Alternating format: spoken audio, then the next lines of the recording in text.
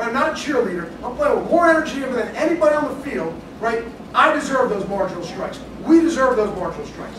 I guarantee you, you'll start getting. Okay?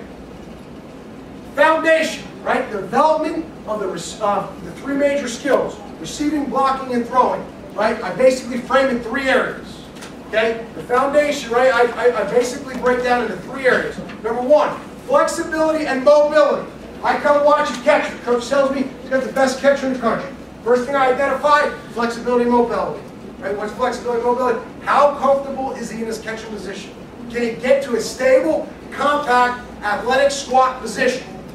We already talked about stance, stance is where basically it all starts when catchers have problems. Okay? So I'm looking for, hey, this starts with our feet, over 20 muscles in your feet. You gotta have great foot strength, good, good foot, foot flexibility, ankles, hamstrings, groin, hips, low back, upper back.